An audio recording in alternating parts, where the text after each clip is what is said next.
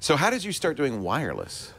Well, actually, uh, just running into uh, into some friends and um, and uh, talking with each other. What what was getting quite popular in, uh, and I'm talking now late 80s of the previous century. Early days of the PC revolution. Early days of the PC, but you had cordless phones.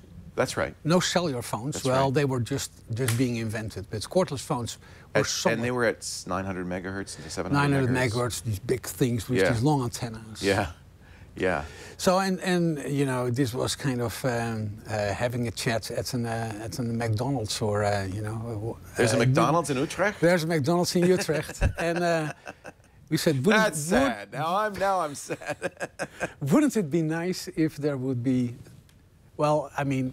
Wouldn't it, be, wouldn't it be nice if there would be something like Wi-Fi? We didn't call it Wi-Fi in those years, but you had cordless phones. Why wouldn't you have cordless computers? what a convenience! Before uh, cordless phones, you had this long cord you Right. could get wrapped around you. right, right. Um, so it was easy to see that that was a technology that made sense for consumers. That's what you would think. But we had products in, uh, in the early 90s, and people didn't believe it could work. Um, they thought, you know, your data get lost in the air. Uh, people are concerned about health.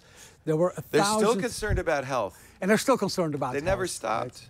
But um, now the very interesting thing is we had first product early uh, 1990, 1991, and the real market breakthrough was 1999 with I could- A- with Apple.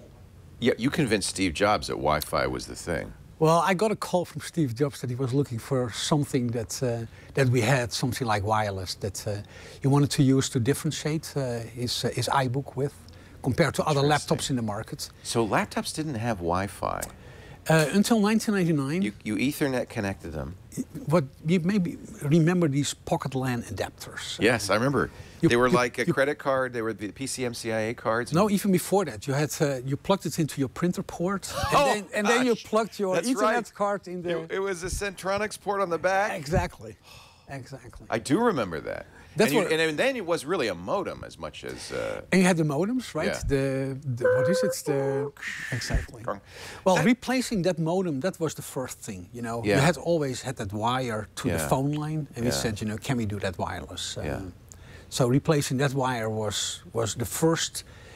But the funny part is today, if I ask my son, "Do you know there was life before Wi-Fi?" You know, I was in the early '90s doing computer talk sh- radio shows, and people would say, "Oh yeah, we're going to build a house. What should we do for?" Uh, it wasn't internet in those days because people weren't Correct. getting online to the mid '90s. Right. Uh, but so maybe it was a little bit later. And you'd always say, "Oh yeah, well you definitely want to put uh, Cat five in the uh, in the wall and maybe coaxial cable." We have Cat five in was- every room in our house. so wrong. How wrong can it be, right? How Who wrong? knew that it was gonna? That was the wireless revolution. Totally took over.